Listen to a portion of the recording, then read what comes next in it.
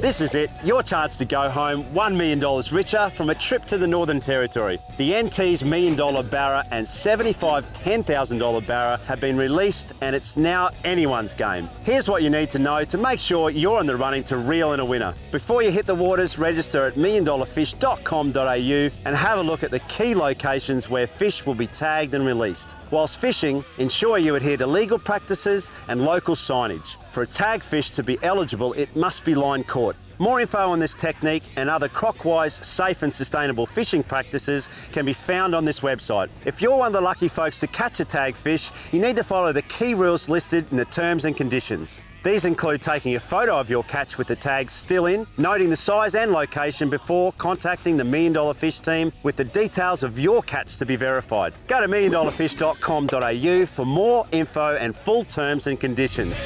Good luck.